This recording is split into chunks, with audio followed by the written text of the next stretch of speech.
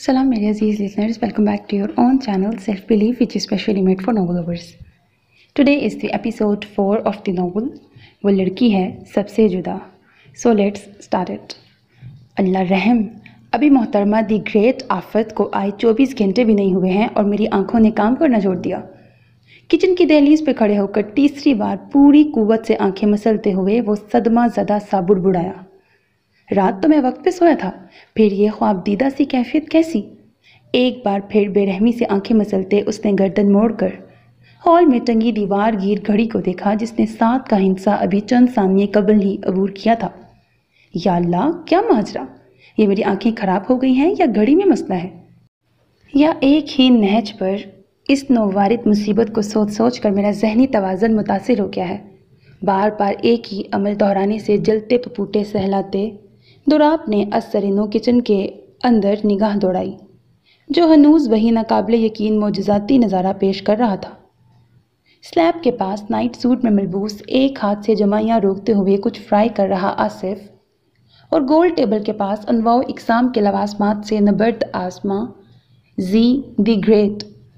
फ़ारूकी मंजिल के नींद के शदाई शहजादे, जिन्हें अगर स्लीपिंग प्रिंस कहा जाए तो बेजना होगा। उनका इतनी सुबह किचन में मौजूद की इस सदी का सबसे बड़ा करिश्मा नहीं था तो क्या था? दुराब, बेहद, बेयकीनी में गौता जन बे आवाज़ कदम उठाता, करीब से तस्दीक करने के लिए जयान की सिमत बढ़ा। पापा, आप खड़े खड़े मुझे क्या घूर रहे हैं यार? इतना काम पड़ा है, हेल्प करें हमारी। नहीं, आप ऐसा करें, चाचू पार्टनर की हेल्प कर दें। नगेट्स फ्राई करने में, बल्कि आप ही फ्राई कर दें, प्लीज़ हरी हरियप दुराब की मौजूदगी महसूस करते ही शाही ट्रे सजाने में मसरूफ जयान साहब बेहद उजलत में पै दर पै कमांड पास करते वापस मसरूफ हो गए। बट जूनियर फारूकी, आप कर, पापा का मौन?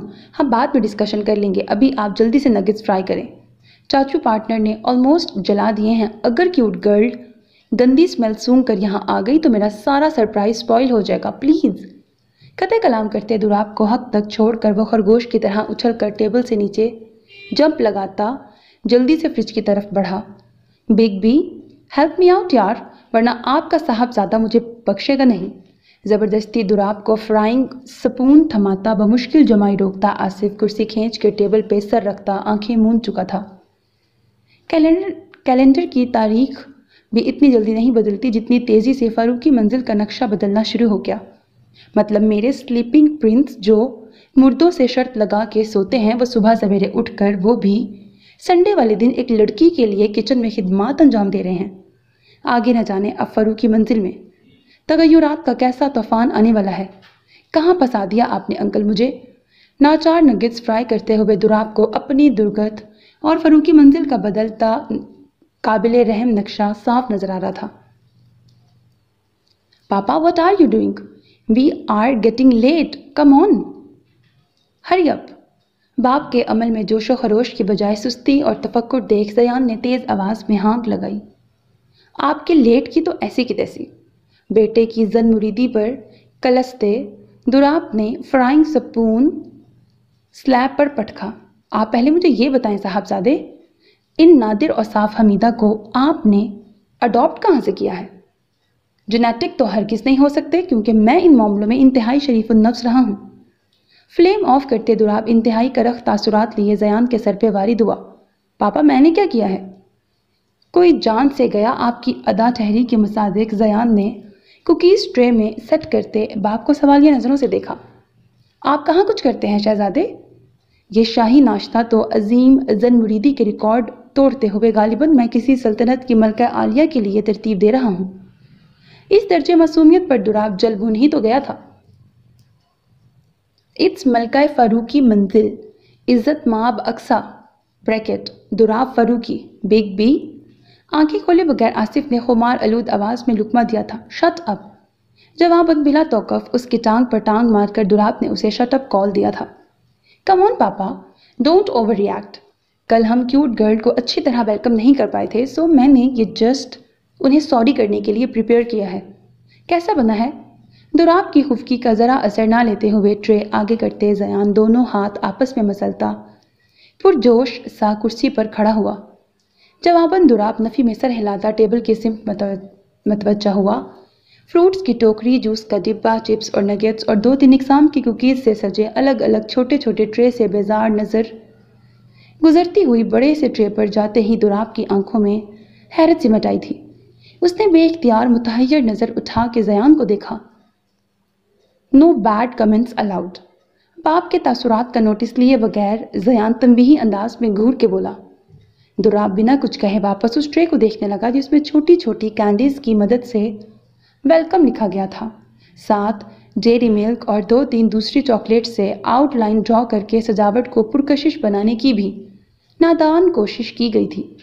ये वही चॉकलेट और कैंडीज थे जो जयान की इंतहाई ज़ाती मलकियत कहलाते थे, जो वो खुद दुराब के हमरा जाके हर माह ख़रीदता था और ख़ुद अपनी तहवील में रखता था। हद तो ये कि आसिफ को भी इस ख़जाने को देखने की इजाज़त नहीं थी और आज वो अपनी मर्ज़ी से एक अजनबी लड़की को ये सब दे रहा था, वो भी बिना पसो पेश। पहला ही लम्हा दुराब के लिए लम्हा फिक्रिया साबित हुआ था, उसके माथे पर तफक्रात के अनगिनत बल नमूदार हो गए। बेशक अपनी उम्र उम्र के हिसाब से उसके काम में बेतरतीबी थी, लेकिन जिस खलूस और अपनाइत से उसके सात साल बेटे ने यह किया था, वो दुराब के लिए ख़तरे का अलाम था। वापस पूरे टेबल पर नज़र दौड़ाते वो तशवीशनाक सोचों के यलगार में उलझता जा रहा था। पापा एम वेटिंग सयान ने उसका शाना हिलाया, दुराब चौंक कर गहरी सोचों के आसार से निकला। क्या वो इतनी इंपॉर्टेंट हो गई है तुम्हारे लिए? पुरसोच नज़रें जयान के रोशन चेहरे की सिमत उठाते वो अजीब कैफियात से नबर्द आसमा था। ऑफ़ कोर्स पापा she is very special to me Zayan चहका, Durab के दिल में सन्नाटे उतरने लगे। बट मुझे फील हो रहा है मेरी प्रिपरेशन स्पेशल नहीं है। देखें परफेक्शन बिल्कुल भी नहीं है। अपनी उम्र से कई गुना बड़ा काम करके भी वो मुतमिन नहीं था। आओ जी, दी ग्रेट पूरे किचन को खंगाल के टेबल पर सजा दिया है। अब क्या छप्पन भूख तैयार करते सब तब सेटिस्फेक्शन आती। आसिफ ने खुफकी से सर उठाया। वही तो मैं कह रहा हूँ, चाचू पार्टनर सारी कॉमन चीज़ें हैं स्पेशल कुछ भी नहीं है। मैंने सोचा था यूट्यूब वाली आंटी की हेल्प से केक बनाऊँगा बट मुझे तो बेकिंग आती ही नहीं। जयान साहब का अपना ही गम था। तो बेटा, इसमें इतना उदास होने की ज़रूरत क्या है? ऑर्डर कर लेते आप, मोहतरमा के शयान शान तो रात ने किलस के मशवरा दिया। मैंने वॉचमैन अंकल के फ़ोन से कांटेक्ट किया था बट संडे होने की वजह से इतनी सुबह डिलीवरी पॉसिबल नहीं। जयान के होंठ लटके। उफ, चार महीने, एक सदी पर मुश्तमिल मालूम हो रहे हैं। दुराब बुड़बुड़ाता फ्रिज की सिमत बढ़ा। पापा, आप अच्छा सा ब्रेकफास्ट रेडी करें, मैं क्यूट गर्ल को लेके आता हूँ। जंप लगाकर कुर्सी से नीचे उतरते जयान का ताज़ा फरमान जारी हुआ। ब्रेकफास्ट वो किस लिए? दुराब अचंबे से मुड़ा। क्यूट गर्ल और हम सब के लिए? तुम्हारी क्यूट गर्ल का पेट है या पंजाब का खेत? इतना सब हजम करने के बाद गुंजाइश बचेगी पानी की भी। दुराब तब ही तो गया था। पापा फॉर योर काइंड इन्फॉर्मेशन इसे रिफ्रेशमेंट कहते हैं ब्रेकफास्ट नहीं। इसे जस्ट टेस्ट किया जाता है सो आप ब्रेकफास्ट रेडी करें प्लीज़ दरवाजे में रुक कर दुराब की नाकिस मालूम में इजाफा करता वो छपाक से बाहर निकल गया। ये आउट ऑफ़ सिलेबस क्लासेस तुम इसे दे रहे हो ना? दुराब ने कड़े तेवरों, संग ऊंग रहे आसिफ को आड़े हाथों लिया तौबा करें बिग जवाबन वो बिदक कर खड़ा हुआ था। ये सब खालिस्तन आपके एक्स्ट्रा ऑर्डिनरी प्रिंस की अपनी दिमागी तख्लीक है। रात के 12 बजे तक इनकी प्लानिंग सेक्शन में मेरी नींद खराब होती रही थी। और सुबह भी मुझे खींच खांच कर यहाँ लगा दिया। और इल्ज़ाम भी आप मेरे सर पे धर दें। आसिफ के अपना दुखड़ा रोने पर दुराब सर हिलाता स्लैब की तरफ़ मतवजा हो गया। So ladies and gentlemen, oh, sorry, men and gentlemen, give a big hands of applause to my very beautiful and gorgeous friend. जोशो खरोश के साथ बा आवाज़ बुलंद मनादी करते जयान अक्सा को लेकर किचन में दाखिल हुआ।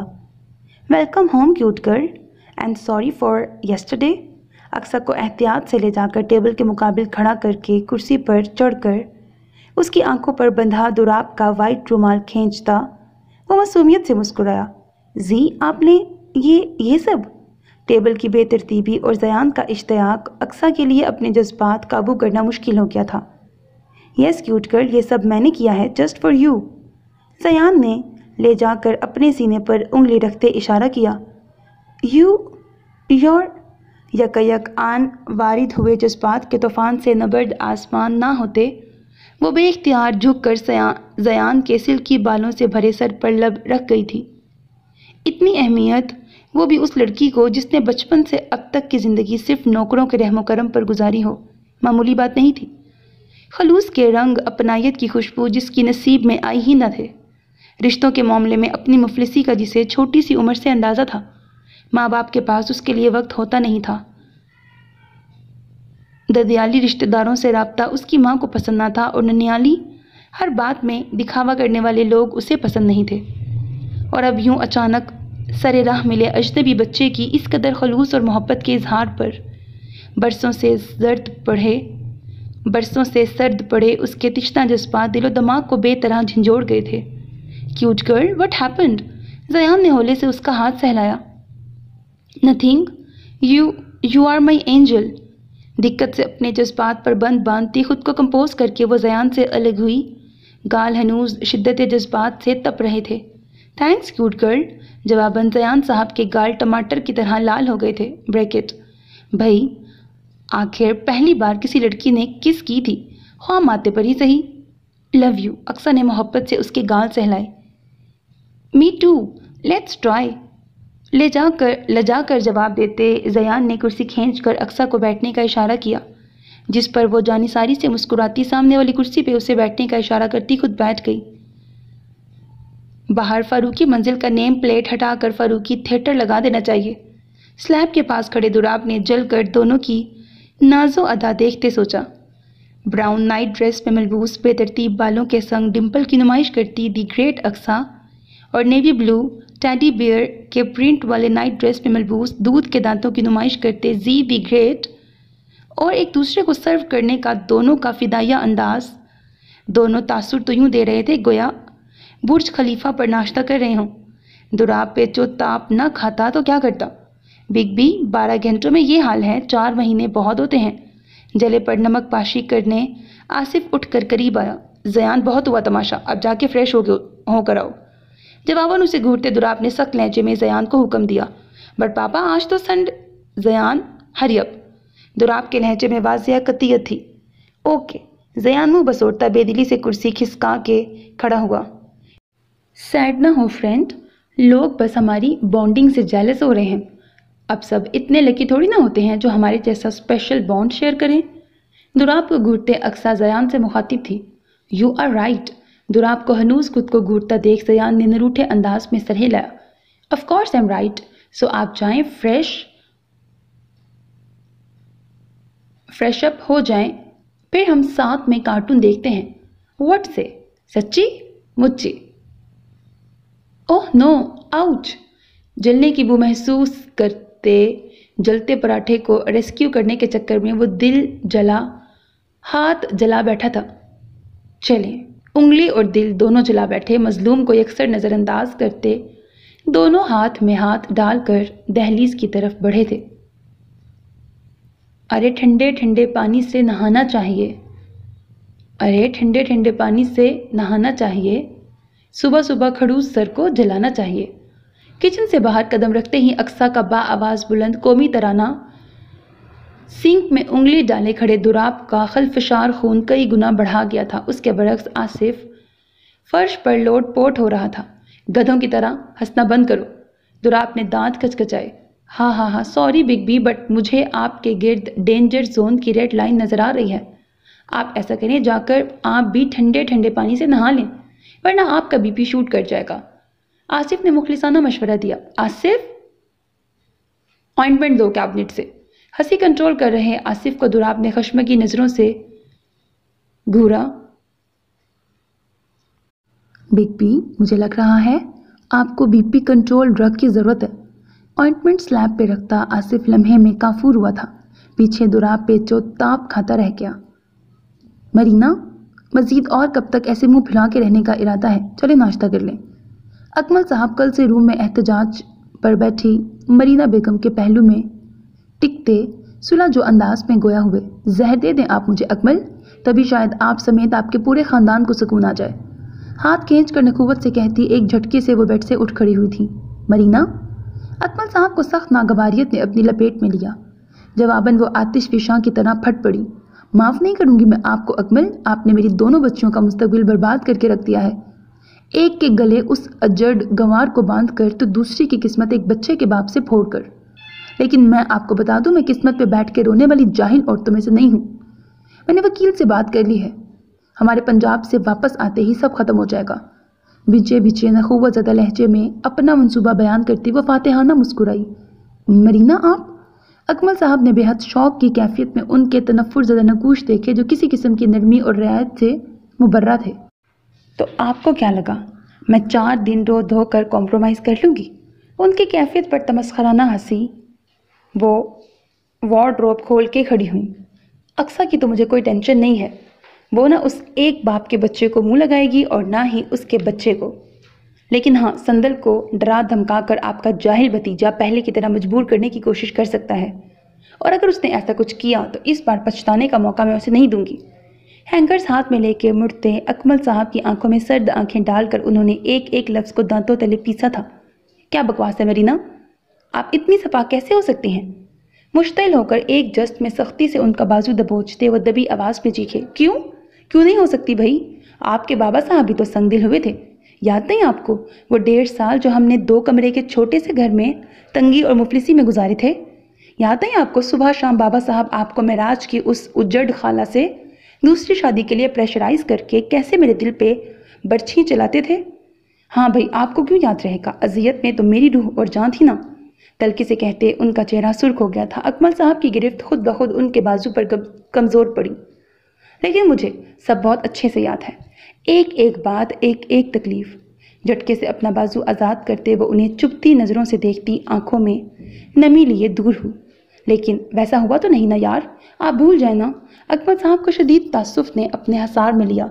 वाकई शादी के बाद वो डेढ़ साल जब तक अकमल साहब को जॉब नहीं मिली थी और बाबा साहब सख्त नाराज़ थे, उन दोनों ने बड़ी ही आजमाइश में गुजारे थे जिसमें मरीना बेगम जैसी नाजों में पली एलिट क्लास की परवरदा ने उनका बिना लबों पर शिकवा लाए भरपूर साथ दिया था।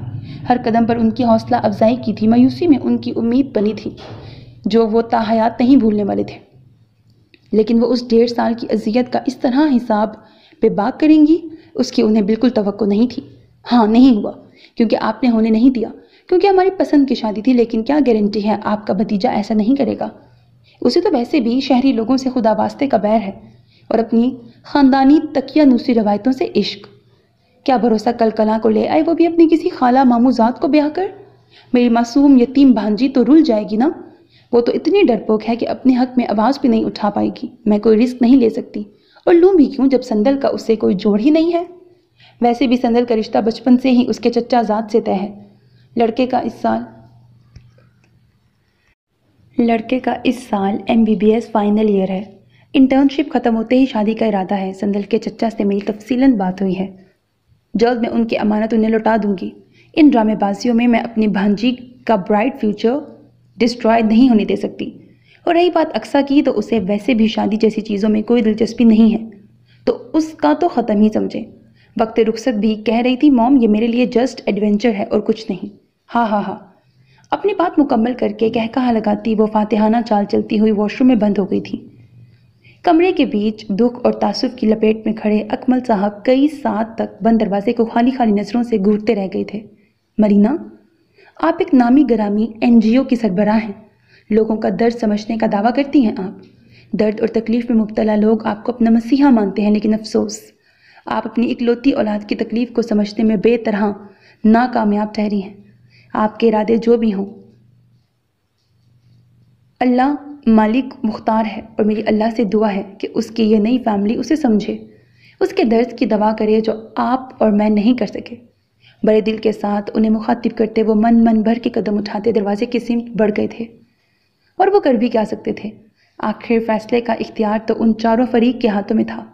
अलबत्त वो कुछ अरसे के लिए मरीना बेगम को इस माहौल से दूर ले जाकर उन चारों को सुकून से एक दूसरे को समझने की मोहलत दे सकते थे और वो उन्हें ज़बरदस्ती अपने साथ पंजाब ट्रिप पर ले जाकर ऐसा कर भी रहे थे।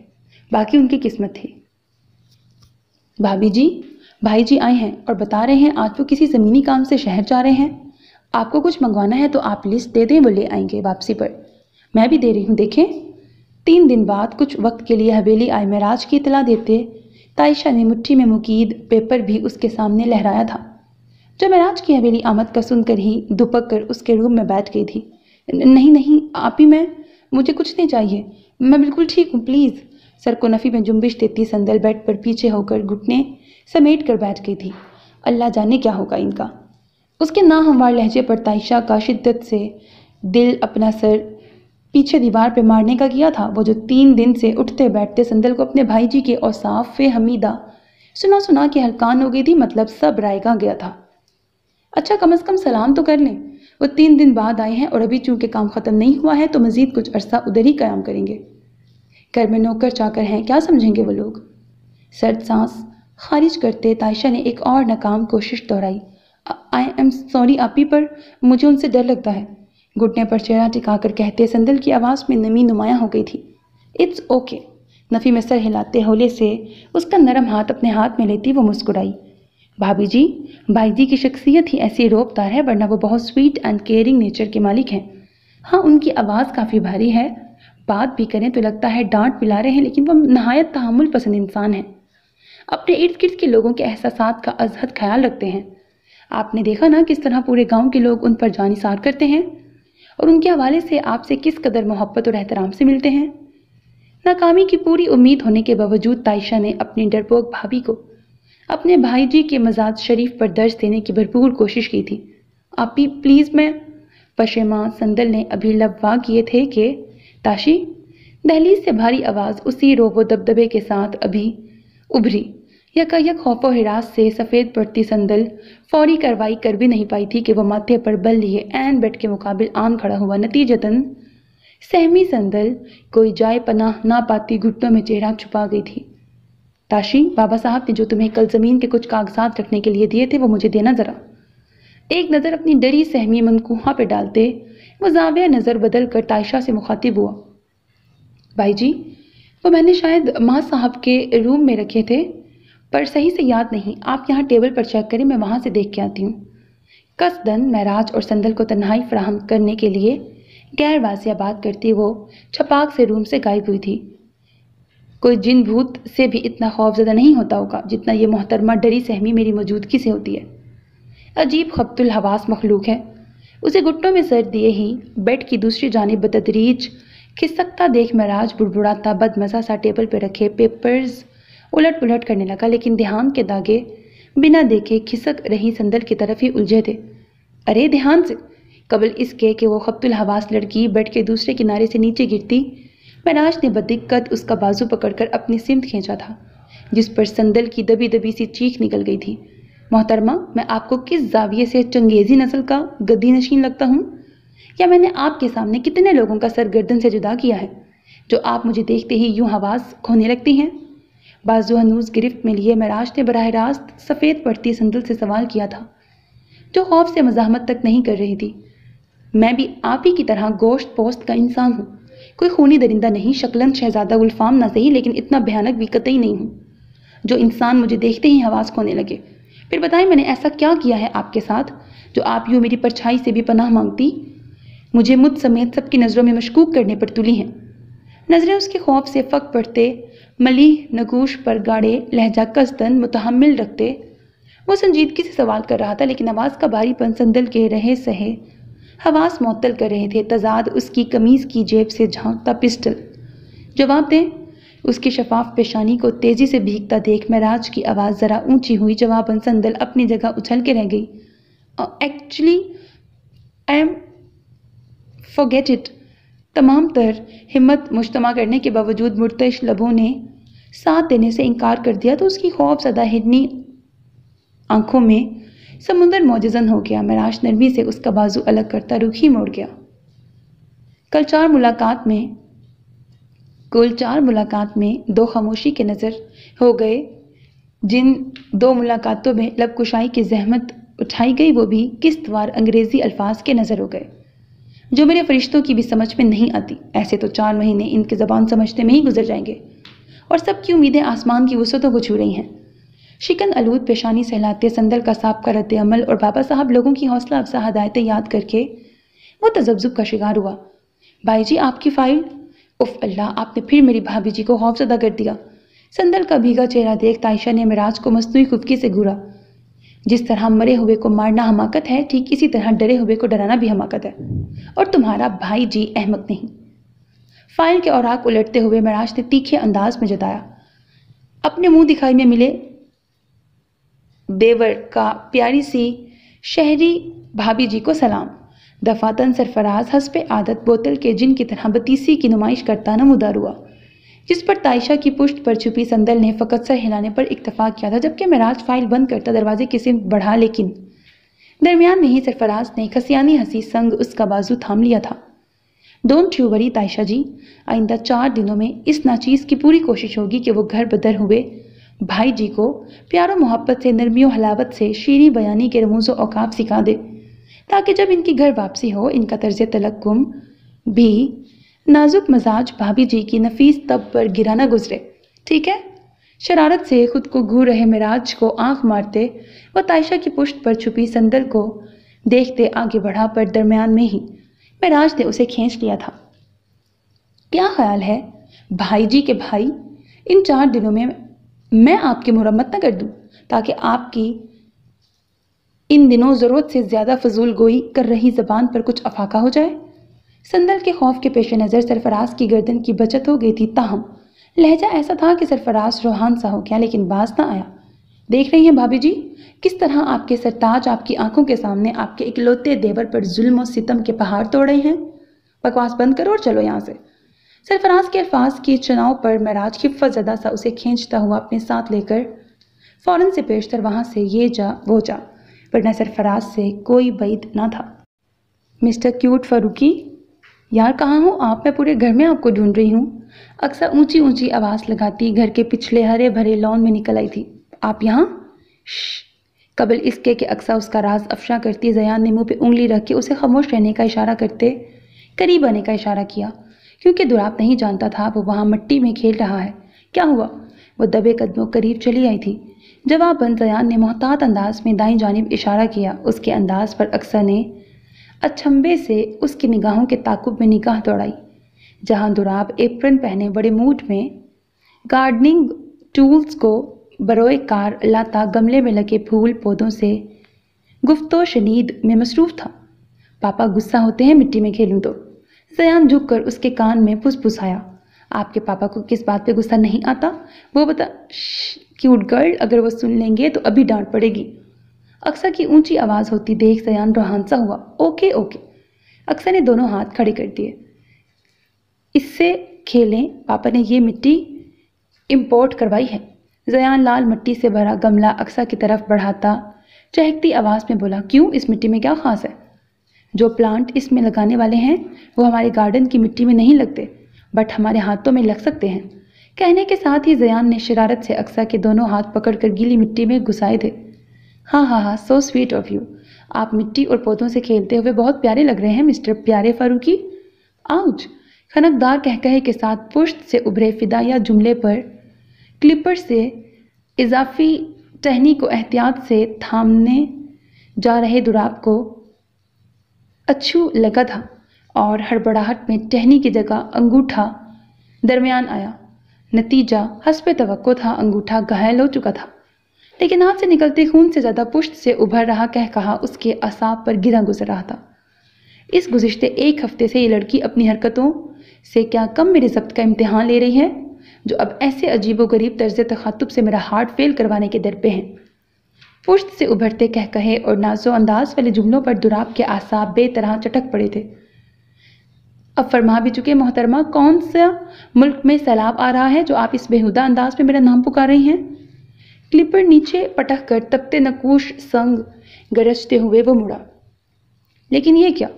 मुकाबिल उसकी नहीं, वो मुकाबिल की इंतहाई ज़रूरी कॉर्नर मीटिंग्स में बुखल हुआ था। कम अज़ कम चौंक कर जिस कदर, जिस किस्म के तासुरात लिए दोनों ग्रेट लोग मुड़े थे। इससे दुराब को तो यही लगा था। बंदे को होना ही है तो इंतहाई दर्जे की गलत फहमी हो जाए। लेकिन खुश फहमी ना हो जान लेवा ना सही, लेकिन बेनहायत ही खतरनाक मर्ज प्रोफेसर साहब। मट्टी में अटे दोनों हाथ झाड़ती वो चमकती शरारत, शरारती आँखें दुराब की, हैरान आँखों में गाड़ कर दिलकशी से मुस्कुराई। आपकी मौजूदगी में बंदा मर्ज में ही मुबतला हो सकता है सेहत याब तो रहने से रहा। जेब से रुमाल बरामद करते उंगली में लपेटता वो जल कर गोया हुआ, जहाँ अच्छा खासा कट लग गया था। क्यूट कर मैं फ़र्स्ट एड बॉक्स लाता हूँ, देखें पापा को चोट लगी है। जयान की नज़र उसकी उंगली पर जाते ही वह सर पट अंदर दौड़ा था। फिर ख्याल रखिएगा प्रोफेसर साहब, कोई ऐसा मर्ज लाक हो जाए जिसमें ना दवा काम आती है, ना दुआ। ज़िंदगी फ़कत ला हासिल, ला इलाज, रोग बन के रह जाती है। उसके हाथ से रुमाल लेती वो गहरी बात हंसपे आदत, हल्के फुल्के, पुरमज़ाह अंदाज में कह गई थी, बहुत मेहरबानी आपकी। बदिक्कत रुमाल झपटते दुराब उसकी, जो मायनी अल्फाज का मफहम समझते तीखे जतूनों से घूरने लगा मतलब वो कौन सा मोहतरमा आफत की पुड़िया के सदके मारी जा रहा था। फ़िक्र न करें, प्रोफेसर साहब, उम्र भर के लिए नहीं थाम रही बैंडेज लगा के छोड़ दूँगी। राइट हैंड पर कट है लेफ़्ट हैंड से बैंडेज नहीं होगा। रुमाल वापस झपट कर उसकी उंगली में लपेट दी वो कतई संजीदा नहीं थी। इतने में जयान फ़र्स्ट एड बॉक्स लेके आ गया था और अपने मिट्टी में अटी हालत बाप की नज़र में आने से पहले वहाँ से काफूर भी हो गया था, जबकि अक्सा उसका हाथ थामे। संगी बेंच की तरफ़ बढ़ी, दुराब भी बिना मजामत उसके मुकाबले टिक गया। आपके अल्फाज जो समुंदर की गहराइयाँ नाप रहे हैं, उनका मायने मफहम खुद आपकी भी समझ आता है। या बस यूँ ही कहीं से सुनकर कहीं पर कॉपी पेस्ट कर दिया है। महारत से अपनी उंगली का बैंडेज कर रही अक्सा के चेहरे पर नज़र गाड़े दुराब तहजाया मुस्तफसर हुआ, जवाबन उसके गाल के गढ़े गहरे हुए, लेकिन इन हमाक न जुटा। लें, छोड़ दिया। कोई उम्र भर का कयाम थोड़ी था। एहतियात से जख्मी हाथ दूसरे हाथ पे रखती, वो मुस्कुराती हुई फ़र्स्ट एड बॉक्स लिए खड़ी हुई सोच कर बोलने वाला अक्लमंद और सुन के बोलने वाला अहमक कहलाते हैं। वैसे ये फ़लसफ़ा लाइन कॉपी किस मूवी से किया है? ये फ़लसफियाना लाइन कॉपी किस मूवी से किया है? यकीनन कार्टून से अच्छी ही होगी। पीछे पुश्त टिकाते दुराप ने पुरमजाह अंदाज में उसे टीज किया था। क्या है ये? जवाबन वो जिस तेज़ी से पीछे दोनों हाथ जमा कर उस पर झुकी थी दुराब की सारी शौकी लम्हे में काफूर हुई थी। वेल मैथ्स प्रोफेसर के मुँह से ऐसा सवाल सुन के मुझे बिल्कुल भी हैरान की नहीं हुई, क्योंकि आपके मजमून में हर सवाल का जवाब होता है लॉजिक के साथ। लेकिन असल ज़िंदगी आपके मैथ्स के प्रॉब्लम्स की तरह सीधी और लॉजिकल नहीं होती।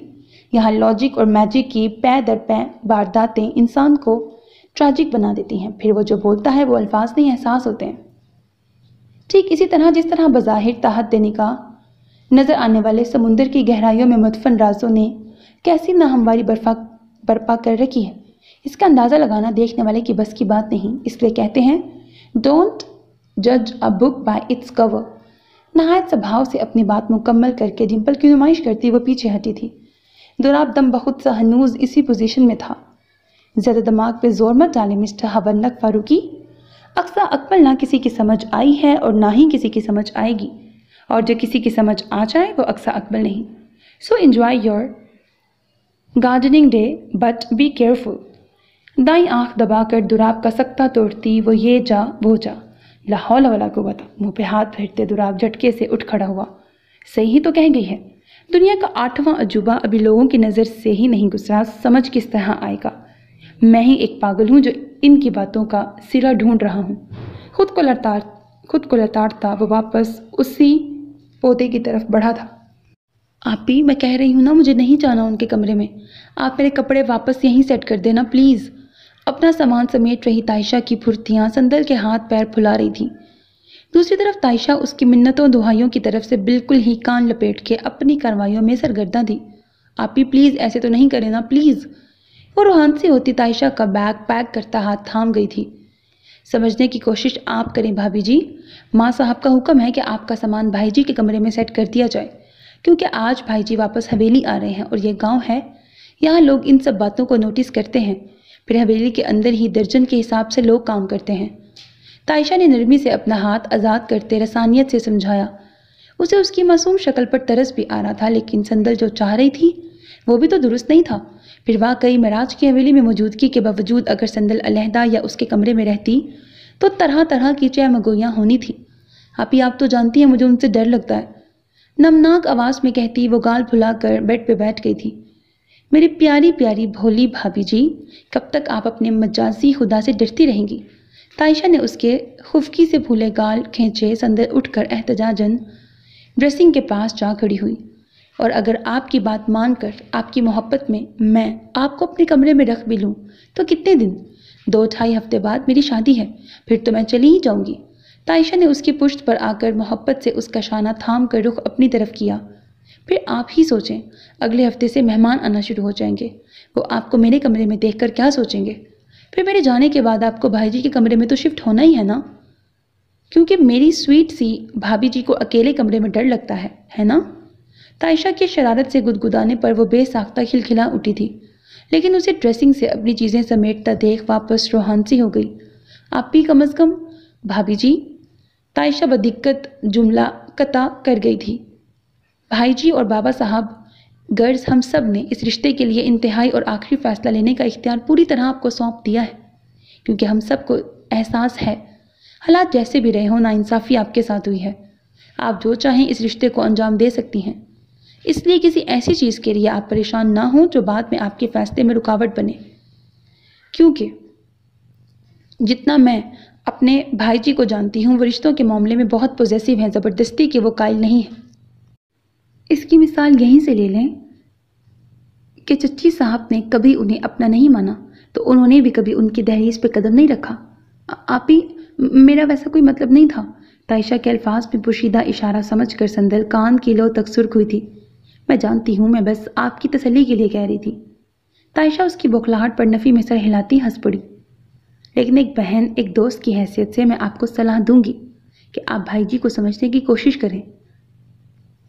खरे सोने जैसा दिल है मेरे भाई जी का, मक्कारी, रयाकारी से पाक, जिसमें अपनों के लिए फ़कत दर्दमंदी, फ़िक्र, मोहब्बत और अखलास व एहसास ही बिना है, जो औरों की तकलीफ़ उनसे कई ज़्यादा शिद्दत से महसूस करते हैं।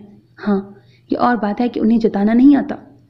आप थोड़ी सी कोशिश करेंगी तो आपको कभी ये सब तो आपको भी ये सब नज़र आ जाएगा। इसलिए कोशिश लाजमी कीजिएगा।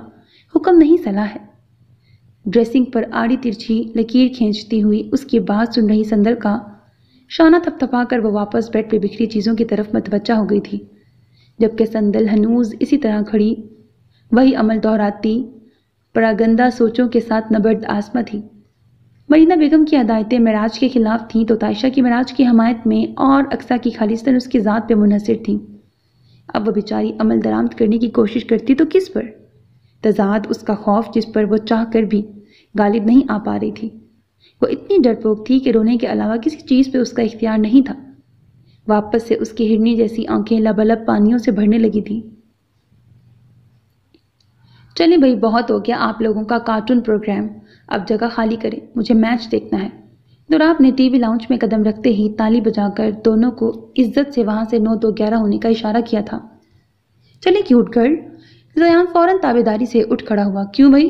किस खुशी में खाली करे? मैं तो नहीं बज, बजा ला रही ज़िले इलाही का हुक्म। जयान का बाजू थामने थामते लगे हाथों दुराब को भी तीखी चतूनों से घूरते वो सामने से रिमोट उठाकर और कंफर्टेबल होकर बैठ गई थी। आप शायद ऊँचा सुनती हैं। मैंने कहा, मुझे मैच देखना है और ये टाइम रोज़ाना मेरे मैच देखने का ही होता है। सो बिना बहस किए खाली जगह करें। ज़्यादा जयान का मौन उसके हर दरमी पर खून का घूट भरते दुराब हुक्मिया अंदाज में बोला, पापा प्लीज़ आप अपने फ़ोन में देख लेना। ऑनलाइन मैच मुझे कोई प्रॉब्लम नहीं है। बट अब क्यूट कर नहीं उठना चाह रही तो आप फोर्स ना करें ना, वरना आपका इन पर इम्प्रेशन खराब होगा। सोफे की हत्ती पर चढ़कर जयान दुराब के कान में फुसफुसाया था। मैं आपकी तरह इमेज कॉन्शियस बिल्कुल नहीं हूँ बेटा सो मुझे अच्छे या बुरे इंप्रेशन से फ़र्क नहीं पड़ता। बस इस वक्त के मैथ से बढ़ता है सो इन मोहतरमा को देखना है तो ये अपने फ़ोन की खिदमत हासिल करें। जयान की ऊँची, जयान की आवाज़ नीची रखने के इशारे के बावजूद दुराब ने सीना चौड़ा करके बा आवाज़ बुलंद अपने अहसन ख्याल पर हर आम ख़ास को मतला किया था। लेकिन उधर टीवी में फसादी जैरी बी के पीछे दौड़ते हुए पूरे घर में तोड़ फोड़ मचा रहे टॉम को देखने में मसरूफ फरीक पर कत्तन असर न हुआ था। पापा, हम फ़ोन में कैसे देख सकते हैं? आपने तो कहा है? फ़ोन स्टूडेंट लाइफ में यूज़ करने की चीज़ नहीं होती। इससे आई साइड वीक होती है। अभी हम दोनों ही स्टूडेंट हैं ना? जयान बला की हाजिर दमागी का सबूत देते दूर की कोड़ी लाया था। यूँ बेटे की तरफ़ से शटअप कॉल मिलने पर शदीद सदमे से दो चार हुआ दुराब जहाँ साइड सोफे पे ठह गया था। वहीं उन दोनों बाप बेटे की राजो न्याज अंदाज से महजूज हो रही अक्सा के गाल के गढ़े गहरे हुए थे, जबकि पूरी बसात उलटकर बला की मसूमियत से जयान साहब अक्सा के पहलू में टिक गए थे। अल्लाह का लाख लाख करम है कि मैं अल्हम्दुलिल्लाह से मुसलमान हूँ और सात जन्मों में मेरा एक कान नहीं। वरना इस आफत की परकाला बीवी और आइंस्टाइन के जानशीन बेटे को पाकर मैं इसे अपनी पिछली छः जन्म की गुनाहों की सजा ही समझता। जेरी बी के पीछे दौड़ दौड़ कर दुर्गत बनी टॉम की हालत और अपने बिल से झांकते हुए उस मजलूम को मजीद चिड़ा रही जेरी बी की बेहिसी पर। दोनों को खी खी करता देख दुराब को अपना और टॉम का गम यकसा लगा था। एक वो बच्चे होते हैं जो अपनी सुतीली माँ को सुकून नहीं लेने देते। एक मेरी औलाद है जो सुतीली माँ के सुकून के लिए अपने बाप से सुतेलों जैसा सलूक कर रहा है। हसरत भरी नज़र उसकी छोटी छोटी उंगलियों में मुकीद रिमोट पे डालकर सर्द सांस खारिज करता हुआ फ़ोन में स्कोर्स देखने लगा। मोहतरमा, आप यूनिक कब से रिजॉइन करने का इरादा रखती हैं? दफातन स्टाफ ग्रुप में आए मैसेजेस चेक करते दुराब का ध्यान अक्सा की मुस्तकिल छुट्टियों की तरफ़ गया था। इरादा तो मेरा कभी नहीं करने का, बहुत पहले से है, लेकिन हाय ये जालिम समाज। वहाँ मोम को सुकून नहीं, यहाँ आपके करार मुझे घर देख कर लुट गए। हसब सबक पढ़ाई के नाम पर अक्सा का हलक तक कड़वा हुआ था। ये मेरे सवाल का जवाब नहीं। दुराब हमेशा की तरह पढ़ाई की बात पर अजहद संजीदा था। अरे भाई, जाऊँगी कल से। न जाने लोगों को मुझे पढ़ाने की क्यों इतनी मौत पड़ी हुई है? जैसे मैं नहीं पढ़ी तो सारी दुनिया अनपढ़ डिक्लेयर हो जाएगी। अक्सा का अच्छा मूड बुरी तरह गारत हो चुका था। वो फ़ौरन ही रिमोट सामने मेज़ पे पटकती उठ खड़ी हुई। तालीम इंसान के लिए लाजिम व मलजूम है। ख़ासकर औरत का तलीम याफ्ता होना माशरे की असलाह के लिए अजद ज़रूरी है। एक पढ़ी लिखी औरत नस्लें सुधार सकती है। उसे बोझ नहीं कीमती असासा समझ के हासिल करना चाहिए। दुराब उसकी बेजारियत के पेश नज़र रसानियत से बोला, पापा बैड मैनर्स आप मेरी क्यूट गर्ल को विमेन नहीं कह सकते। वो गर्ल है वो भी क्यूट सयान साहब का अलग ही एतराज़ था। रहने दें क्यूट फारूकी। इन्हें हम मैच नहीं देखने दे रहे इसीलिए ये हमें हमारा शो देखने नहीं दे रहे। हाउ सेल्फिश बट हम ऐसे नहीं हैं। सो हम इन्हें दे देते हैं। वैसे भी उन्होंने हमारे लिए तीन घंटे जेलस प्लस कुक फारूकी। हम्म, तीन घंटे लगा के डिनर रेडी किया है। सो ऑफ़ कोर्स ये ले mister jealous plus cook Farooqui. अक्सर एहसान करने के अंदाज पर रिमोट दुराब की तरफ़ खिसकाती आगे बढ़ी, जैसा आप कहें क्यूट गर्ल क्यूट गर्ल का दीवाना बदिक्कत उसका हम कदम हुआ और रिमोट उठाकर दुराब अपनी सगी औलाद की इस तोता चिश्मी पर सर्द आह भर के रह गया था। Very sweet of you my mister cute Farooqui Aqsa के बाल बिगाड़ने पर जयान खिलखिला उठा दफातन अकब से मिस्टर जैलस फारूकी की जैलस आवाज़ गूंजी। इस ज़रा नवासी के लिए बंदना चीज़ अजहद आप दोनों अजीम हस्तियों का ममनून मशकूर हूँ। कल से आप, जनाबा, किचन को भी शर्फ बख्श कर मुझे मज़ीद एहसान मंद होने का मौका ज़रूर दें। क्यों? इस नए फरमान पर अक्सा का एहतजाज खासा बुलंद था, क्योंकि हमारे यहाँ मेहमान सिर्फ़ एक हफ़्ते तक होते हैं, इसके बाद सब घर की मुर्गी दाल बराबर। टांग पर टांग चढ़ाकर, बला की बेनियाजी से कहता, वो टीवी की तरफ़ मतवजा हो चुका था, जबकि अक्सा तन फन करती वॉकआउट कर चुकी थी। अलबत्ता वहीं खड़ा कुछ सोच रहा जयान एक फैसले पर पहुँच दबे कदमों बाप के करीब आया। आपकी क्यूट गर्ल की सवारी तो गुजर गई बरखुरदार आपकी गाड़ी को कैसे ब्रेक लग गई? दुराब ने आँखें सुकेड़ के अपने तोता चश्म औलाद को देखा जो अक्सर की आमद के बाद से उसे ज़रा लिफ्ट नहीं करवा रहा था। पापा, वो एक्चुअली आई वॉन्ट टू से बाप के तेवर देख दयान लब कुतरने लगा। वॉट दुराब जानता था, कुछ अक्सा की हमायत में ही होगा, तभी टीवी से निगाह हटा के मुकम्मल मतवजा हुआ था। पापा, हम तीन जेंटलमैन हैं, वो अकेली गर्ल है। तो तो जेंटलमैन वुमेन की रिस्पेक्ट करते हैं, उन्हें जेंटली ट्रीट करते हैं। सयान ने एक बार फिर बाजू लेकर बाप को देखा। एक बार फिर? पता नहीं क्या लेकर बाप को देखा। अच्छा लगे हाँ तो ये भी बता दें, मैंने कब उनकी शान में गुस्ताखी करते हुए उनसे हमाली का काम लिया है?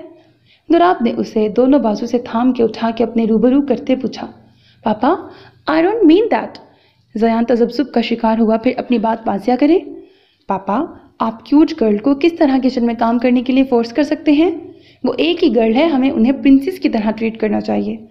जयान ने निगाह चुराकर अपना मुद्दा बाजिया किया, जवाबन? तुराब ने इतमान से उसे नीचे खड़ा कर दिया। बेटा जेंटलमैन होने में और जन मुरीद होने में खासा फ़र्क होता है, जिसे मिटाने में तुम्हारे बाप को कोई इंटरेस्ट नहीं है। अलबत्त जिस रफ्तार से तुम इस दरमियानी फासले को मिटा रहे हो, मुझे अपनी आने वाली नस्लों की बड़ी फ़िक्र हो रही है। लिहाजा आप यहाँ से कूच करें, मुझे मैच देखने दें। जेंटलमैन रूल्स दुराब के जयान को घूर के बुड़बुड़ाते हुए टीवी की तरफ़ मतवजा हो जाने पर, जयान अपना समूह लेके रह गया था। गम ये नहीं था कि बाप से मिट्टी पलीद हो गई। दुख ये था कि वह बाप को कन्विंस नहीं कर सका और कल क्यूट गर्ल को हर सूरत, ज़िले इलाही का हुक्म बजा लाना होगा क्योंकि उसके बाप के गोलोफेल में हर किस तजाद नहीं होता था। तायशा, आप ही मैं अभी भी बता रही हूँ प्लीज़ मुझे अपने रूम में रहने दें। आप नहीं जानती उनके पास गन होती है रियल वाली। तायशा के हमरा दरवाजे के एन मुकाबिल पहुँच के संदल आखिरी कोशिश के तहत मुलतजी हुई। जी बिल्कुल है, लेकिन मुझे अधमरे शिकार पर निशाना साधने का कतई शौक नहीं है। एन अकब से उभरी भारी तंजिया आवाज़ पर संदल बिदक कर तायशा के पहलू में रूप पोश हुई थी। और महराज जी भर कर बदमज़ा हुआ था मतलब हफ़्ता घर बदर रहना रायगा गया था। भाई जी, क्या है? डरा दिया ना? बंदा आराम से बात कर लेता है। संदल की हिम्मत बंधाने के लिए तायशा कस्तन रोकदार आवाज़ में बोली, मौलिद इल्ज़ाम मुझे ठहराने का कोई फ़ायदा नहीं है। इन मोहतरमा का चिड़िया के दिल से एक दो सौ ग्राम छोटा दिल मेरे सांस लेने से भी सहम जाता है। अब मैं इनके लिए सांस लेना तो नहीं छोड़ सकता ना। बरह रास्त चोट करते हुए दरवाज़ा खोल के अंदर दाखिल हो गया था, जबकि उसके यूँ आला मैार में खराज तहसीन पेश करने पर संदल का चिड़िया से 200 ग्राम छोटा सा दिल कुछ और सहम गया था, जिसका अंदाज़ा तायशा को अपनी कलाई पे बढ़ती गिरफ्त से हो रहा था। अच्छा अच्छा ज़्यादा मेरी मासूम भाभी जी पर तंज करने की ज़रूरत नहीं है। रास्ता दे, हमें अंदर आना है। कबल इसके के संदल दौड़ लगाती, तायशा राज को आँखों से बास रहने का इशारा करती आगे बढ़ी। पूछ लो मोहतरमा से, अंदर मैं चीज़ भी पाया जाता हूँ, जो इन जनाबा की नज़र में शायद कोई खूनी दरिंदा है।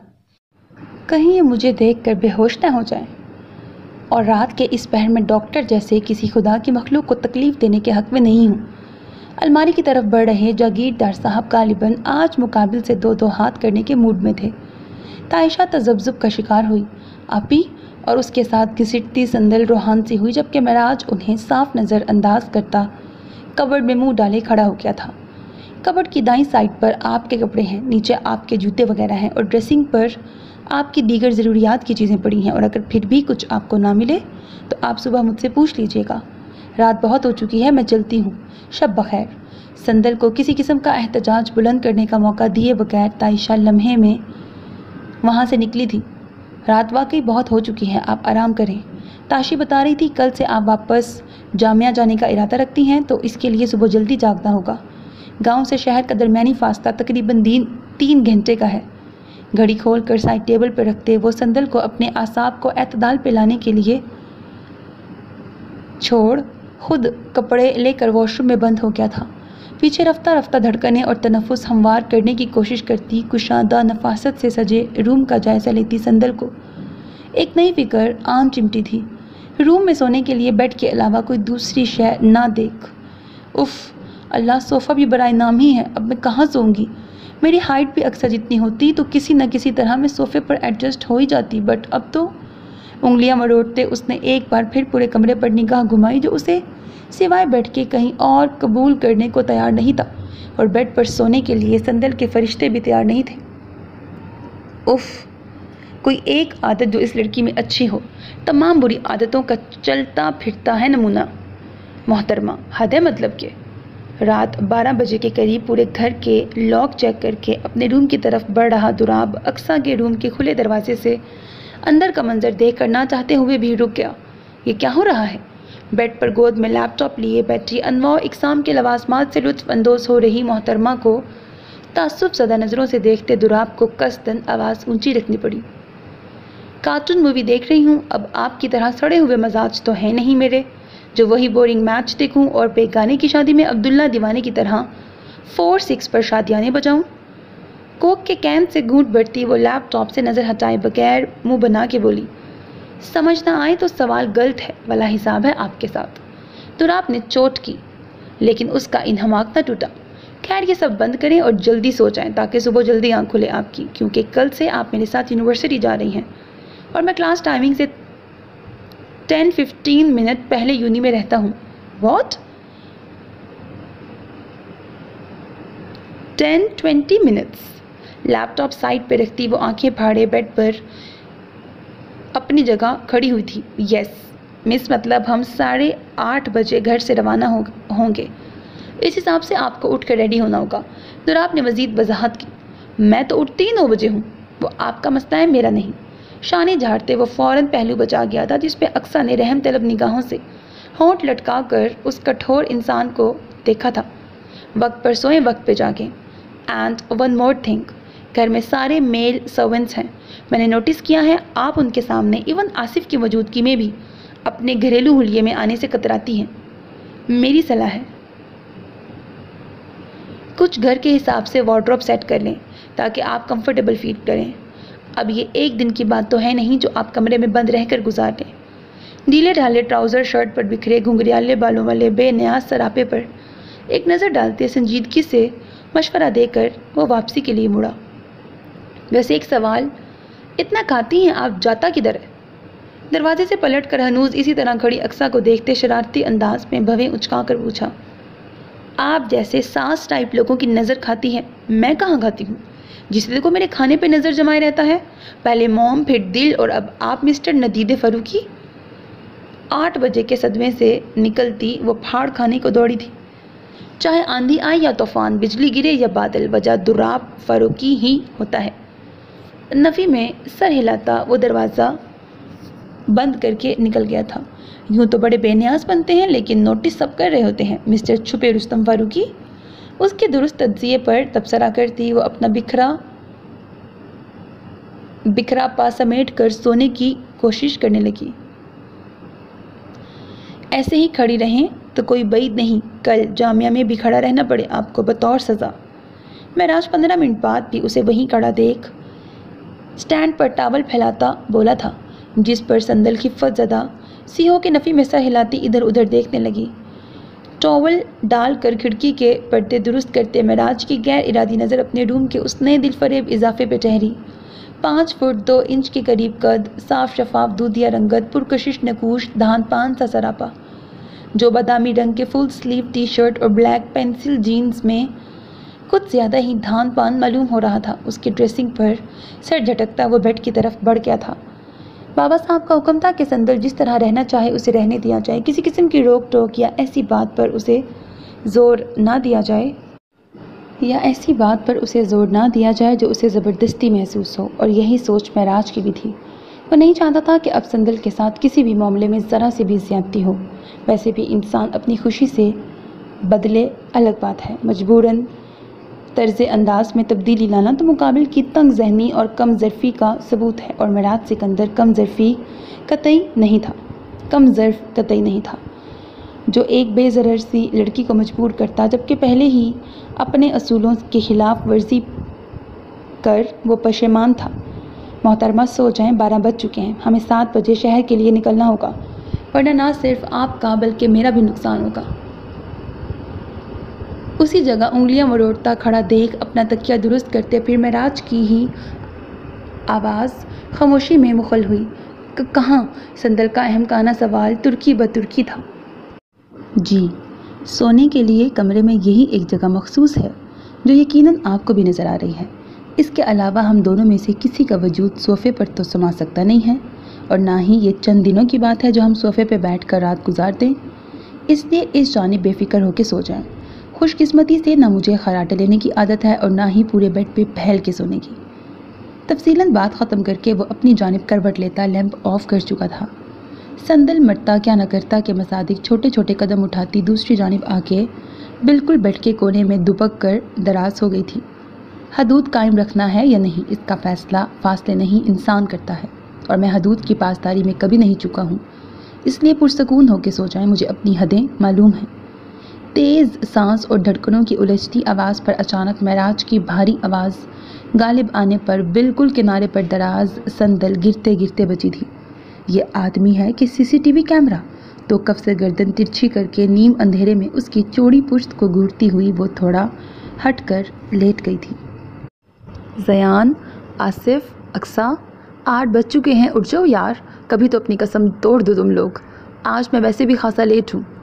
कुकर की सीटी की बुलंदी को कता करती हुई दुराब की आवाज़, फ़ारूकी मंजिल की दर दीवार में करीब पाँचवीं मरतबा इरताश का बाइस बनी थी, लेकिन दूसरी तरफ़ हंसपे दस्तूर जवाब नदारत था। गॉड, सारे ढीठ और नींद के शदाई लोग मेरी ही किस्मत में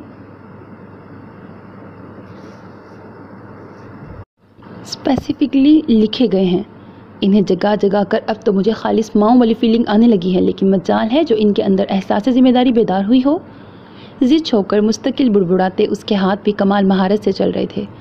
साथ बीच बीच में सोई हुई कौम को जगाने का फरीज़ा भी पूरी ज़िम्मेदारी के साथ सर अंजाम दिया जा रहा था। जयान, आसिफ, अक्सा, उठ भी जाओ यार मैं। बाउल में आटा डालकर पानी डालने के लिए जग उठाते दुराब की आवाज़ अभी चोटी पर पहुँची ही थी कि बस कर दे भाई, खुदा का वास्ता है। दफातन अक्कब से खुमार आलूद आवाज़ पूरी झुंझुलाहट के साथ उभरी थी। हैं? दुराब जग समेत मुतहैर तासुरात लिए नो वारिद की सिमत मतवजा हुआ। क्या है? क्या हैं? कहाँ पर आग लग गई है जो सुबह सुबह गला फाड़ के फायर ब्रिगेडियर की घंटी जैसी बेसुरी आवाज़ से नींद हराम कर रहे हैं? अवामुन्नास की?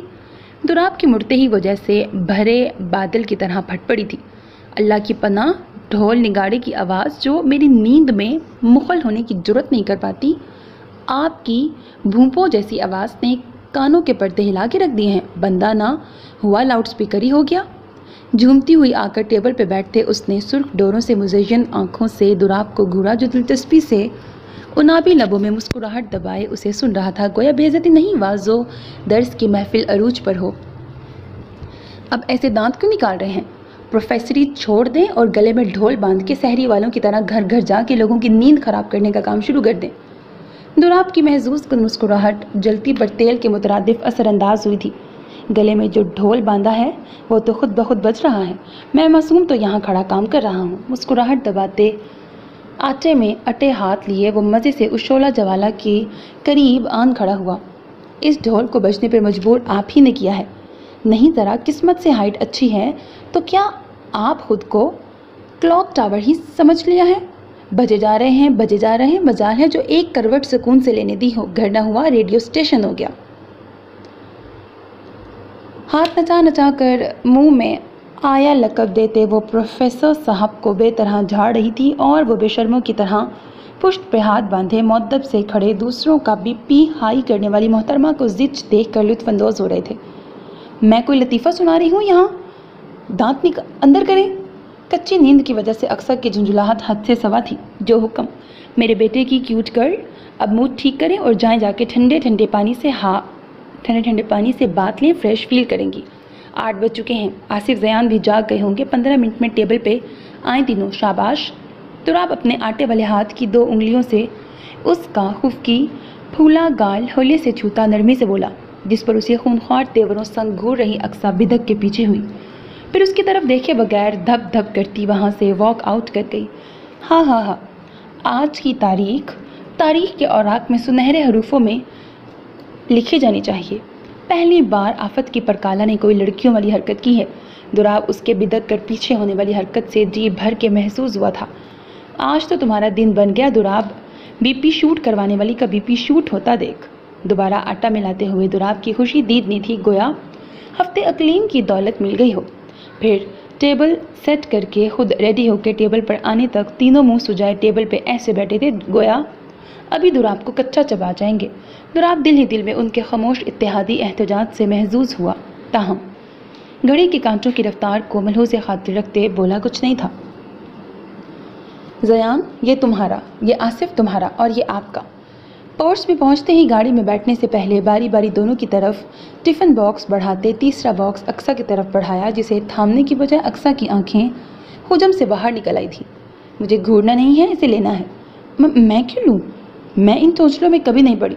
अक्सर का लहजा न जाने किस एहसास से लड़खड़ा गया था। इसमें कोई, मैंने एटम बॉम्ब का फार्मूला नहीं छुपाया है, जो सैंडविचेज़ हैं। क्लासेस देर तक चलती हैं, बजाय कैंटीन में बैठ के जंक फूड्स खा के, ग्लास क्लास बंक करने के आप ही खा सकती हैं। तफसीलन तंज की आमेजिश लिए कहते दुराब ने एक बार फिर कभी उंगलियों की गिरफ्त में मौजूद बॉक्स उसकी तरफ़ बढ़ाया, जिसे देखकर अक्सा अजीब कैफियत का शिकार हो रही थी। उसे नहीं याद पड़ता था, स्कूल के पहले दिन भी उसकी मॉम या डैड में से कोई उसे गेट तक सी ऑफ़ करने आया था कजा हाथ से बना टिफ़िन बॉक्स। उसे नहीं समझ आ रहा था वो जो महसूस कर रही हैं, उसे क्या कहते हैं कमाईगी या अनोखा एहसास। जो भी था, उसकी उंगलियों को बेजान बेजान कर थामने से इनकारी था। आई नो आपको ये अजीब लग रहा होगा बट मैं अपनी फैमिली को लेकर ओवर पोजेसिव हूँ। बिला ज़रूरत, उन्हें जंक फ़ूड मैं अलाउ नहीं करता, क्योंकि मुझे अपनी फैमिली हैप्पी एंड हेल्दी चाहिए। इसलिए जब तक आप यहाँ हैं, बुरा लगे या भला आपको मेरे कुछ रूल्स फॉलो करने होंगे। तो रात ने संजीदगी से कहते हुए खुद ही उसका हाथ थाम कर बॉक्स थमाया और खुद ड्राइविंग सीट की तरफ़ बढ़ गया। फैमिली अजब कैफियत से दो चार अक्सा जहरीला बुड़बुड़ाई फिर सर झटकती गाड़ी की तरफ़ बढ़ी। अक्सा, आप फ्रंट सीट पर बैठ जाएँ। मैं पार्टनर के साथ बैठ जाता हूँ। आसिफ ने कुछ सोच कर मुस्कुराते हुए अक्सा के लिए फ्रंट डोर खोला। नहीं चाचू, आप ही पापा के साथ बैठें। क्यूट गर्ल मेरी पार्टनर हैं। वो मेरे साथ बैठेंगी। क्यों क्यूट क्यूट गर्ल क्यूट कहती हूँ। क्यों क्यूट गर्ल हंसबे आदत दरमियान से मुँह निकालते जयान साहब का एतराज़, बमा तजवीज़ बर्जस्ता था। अक्सा असबात में सर हिलाती बैक डोर खोल के दर बैठ गई। आसिफ अपनी महूम सी कोशिश पर यूँ पानी फिर जाने पर अपना समूह लेके रह गया। Big B I am warning you अभी भी कुछ नहीं बिगड़ा, फौरी अकदाम कर लें, वरना आपका अपना बेटा आपको बहुत टफ टाइम देने वाला है। मुझे इसमें सौतन वाले सारी क्वालिटीज़ नज़र आ रही हैं। तो राब की तरफ़ झुकते आसिफ ने सरगोशी में मुस्तबिल के संगीन नतज के लिए खबरदार किया जवाबन। दुराब ने फ़कत घूरते हुए उसे अपनी जगह पर जाने का इशारा करने पर इतफा किया था। आसिफ और जयान को ड्रॉप करते हुए वो लोग वाकई क्लास से दस बारह मिनट पहले यूनिवर्सिटी में मौजूद थे। जेरलब दुराब को सलाबातें सुनाती, जमाइयाँ रोकती हुई वो क्लास में पहुँची तो पढ़ाकू स्टूडेंट की तवसत से इतला मिली कि सरफारूकी की स्कूल फ्रेंड मिस तंजीला भी अब उनकी एक क्लास लेंगी, जिस पर नफ़ी में सहलाती वो डेस्क पर सर रख कर सो गई थी।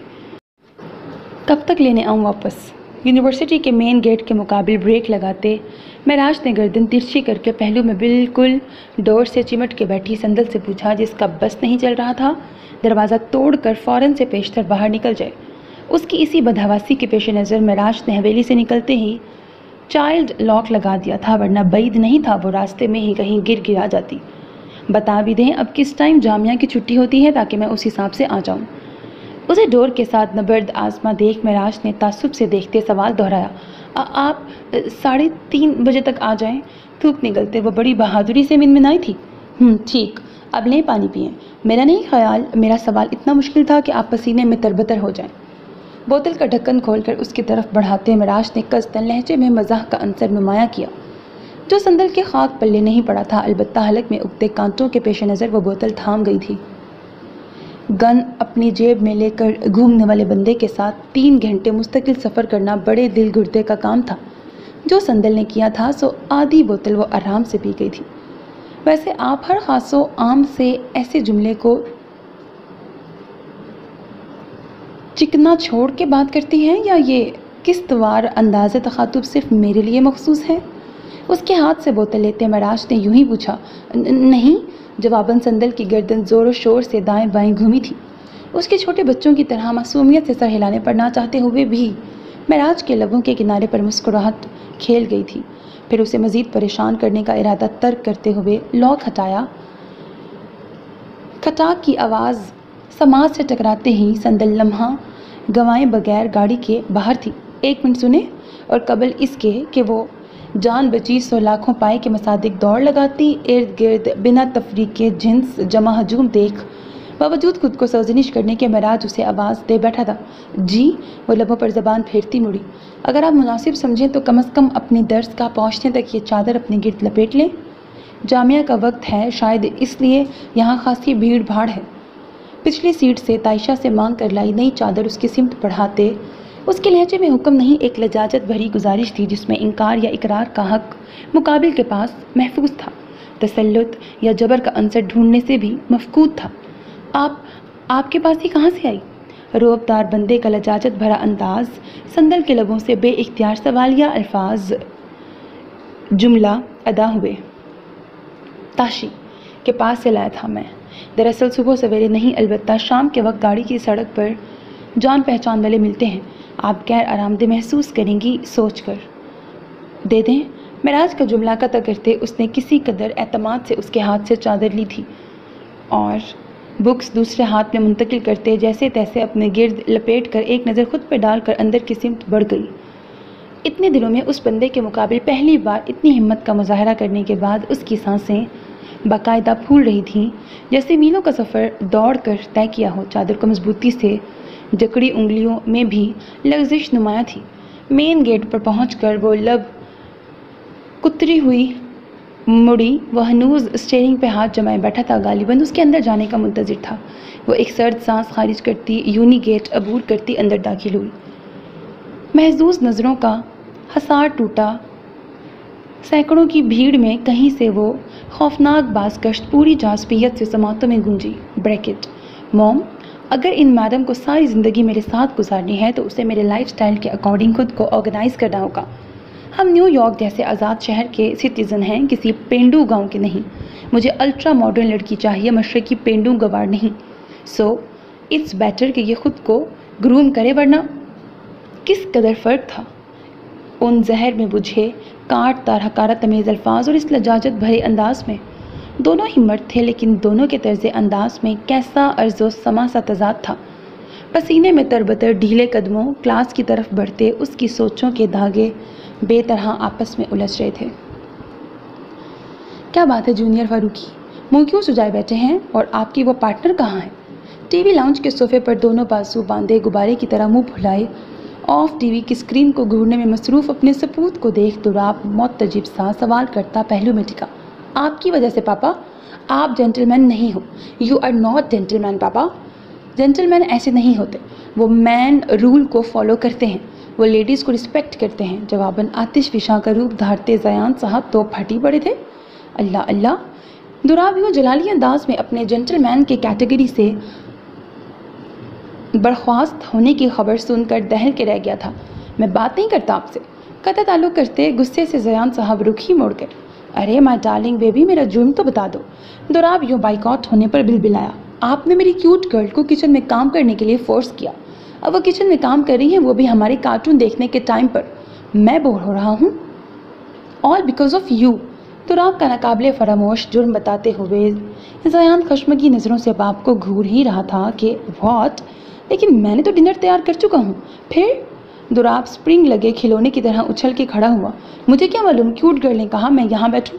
और ये चिट भी दी है आपके लिए। ला इल्मी से शाने उचकाते लगे हाथों जयान ने कुशन के नीचे से पिंक कलर की चिट निकाल कर दुराब की तरफ़ बढ़ाई, जिसे पकड़ते हुए दुराब का दिल पूरी शिद्दत से धड़का और खोलने के बाद दिमाग पूरी तरह झुंझला गया था। सरप्राइज़, सलाम अर्ज़ है ज़िले इलाही। अर्ज़ गुजारिश ये कि मैं अदना कनीस, कुकिंग की दाव पेज से कतई नावाकिफ़ होने के बावजूद आपका हुक्म सर आँखों पर रखते आपके शाही किचन को शर्फ सादत बख्शने जा रही हूँ। ताकि आपके हुक्म को, ताकि आपके हुक्म की सरकूबी की ख़ता सरजद न हो। दुआ की ख़ास दरख्वास्त नाचीज़ कनीज़ के लिए नहीं, बल्कि आपके अज़ीज़ किचन के लिए। फ़कत the great Aqsa Akmal. Dammit ख़त के आखिर में बने स्माइली को देख दुराब सर पट किचन की तरफ़ भागा था, लेकिन नहायत अफसोस के साथ देर हो चुकी थी। अस्सलाम वालेकुम। कमरे में दाखिल होते ही हसब आदत मराज ने बाआवाज़ बुलंद बेडरूम के नए दिल फरेब इजाफे पर, यानी बेड पर किताबों के नरके में फंसी संदल पर सलामती भेजी थी, जिसका जवाब हसब सबक दस्तूर खुद समेत किताबें समेटने की सूरत मौसू हुआ था। ये सलाम का इशारतन जवाब देने का अपना ही अंदाज़ है। मतवक़ रद्द अमल पर सर्द सांस फिज़ा के सबुर्द करते, वो वॉलेट घड़ी के साथ पिस्टल भी वहीं।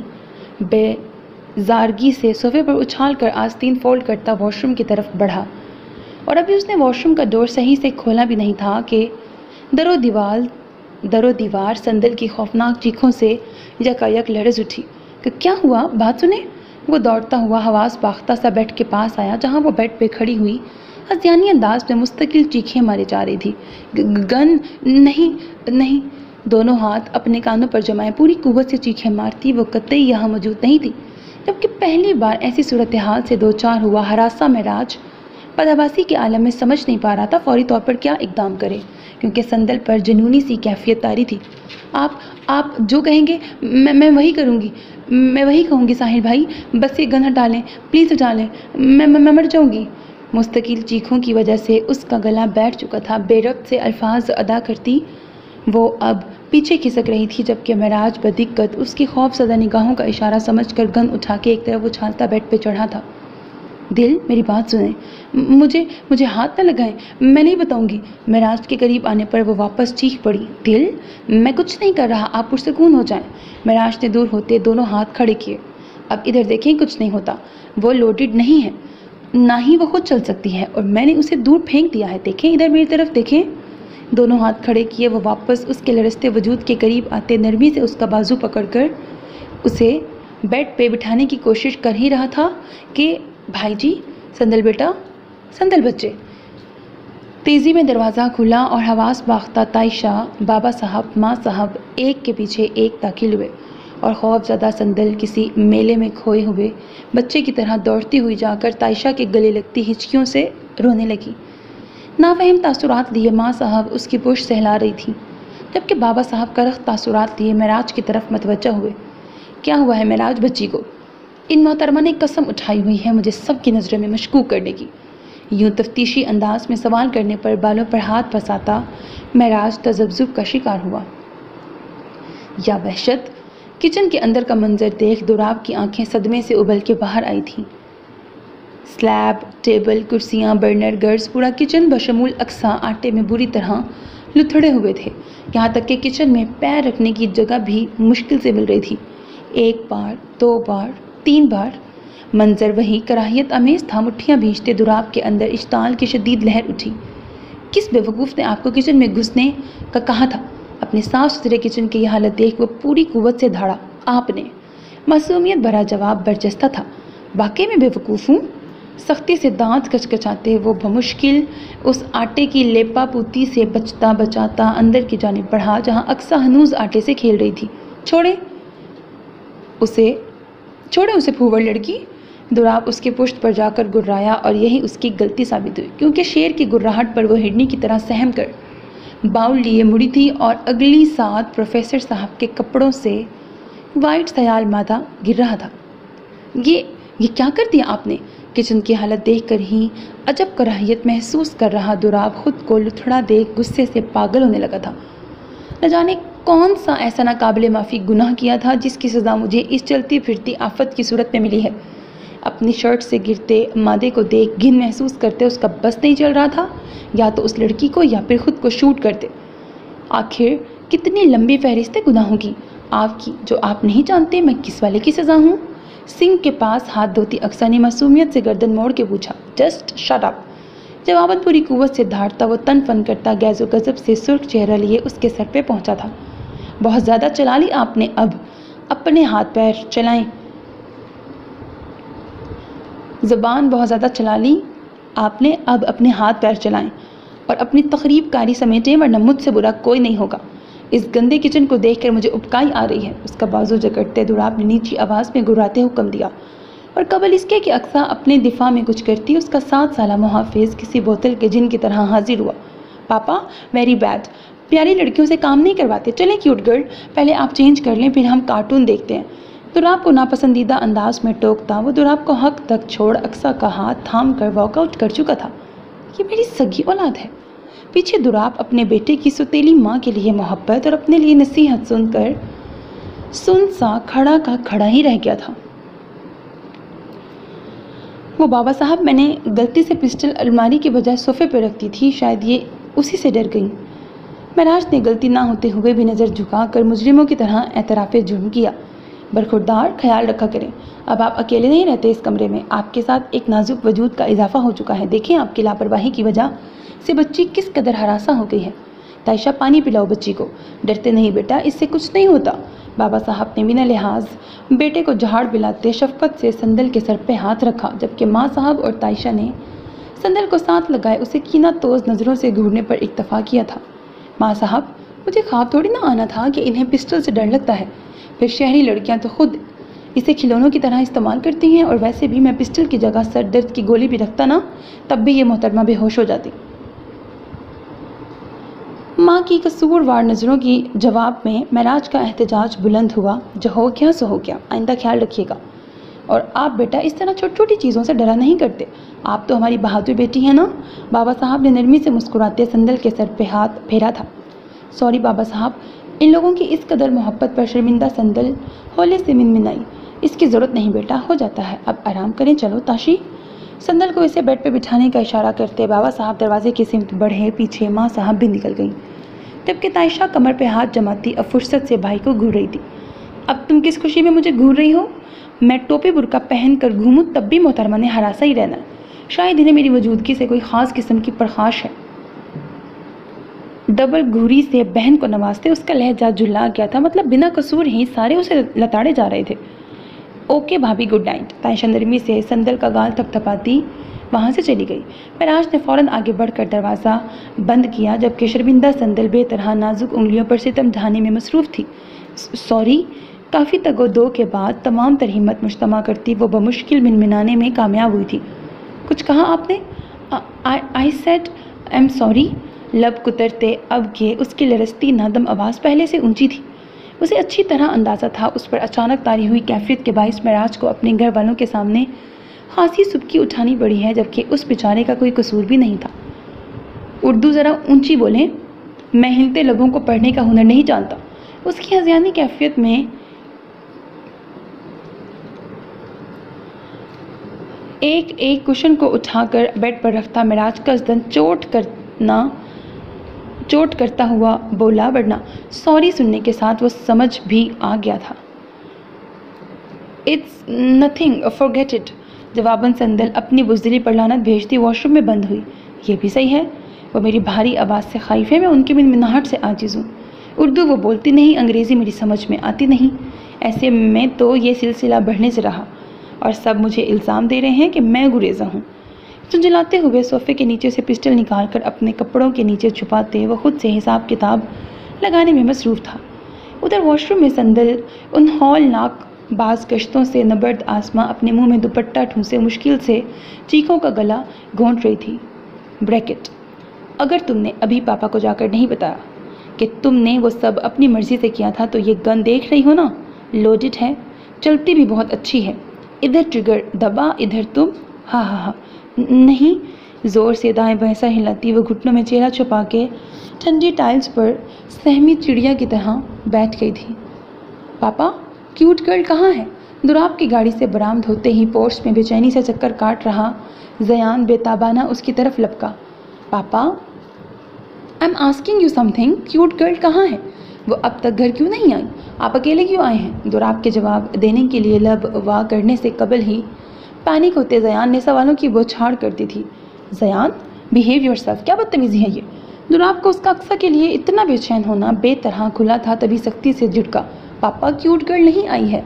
आप, जयान ओवर रिएक्ट करना बंद करें। अंदर जाके अपना कार्टून प्रोग्राम देखें राइट नाउ दुराब सख्ती से उसका बाजू पकड़कर साइड करते तेज़ कदमों से आगे बढ़ गया। अभी उसने दाखिली दरवाज़ा अबूर किया ही था कि वो हाँपता हुआ एक बार फिर उसके मुकाबिल आन खड़ा हुआ। पापा प्लीज़ बताए ना क्यूट गर्ल कहाँ है? वो आज मेरे साथ वीडियो गेम खेलने वाली थी। मैं वन आवर से गेम निकाल कर अपने कमरे में उनका वेट कर रहा हूँ। वो नहीं आई, वो कॉल भी नहीं ले रही हैं। पापा प्लीज़ आजीज़ी से कहते, न जाने किस जज्बे ने उसके लहजे में नमी घोलती थी। मेरी जान, दुराब तड़प कर दो जानों, उसके मुकाबिल बैठा था। सो मेरे अज़ीज़ listeners this was the end of this episode hope that you like it अपना बहुत ख्याल रखिएगा नेक तमन्नाओं के साथ। अल्लाह हाफिज़। And don't forget to subscribe to my channel because that's how you can encourage me, and that's the only kind of support and encouragement which I want from all of you. Allah Hafiz.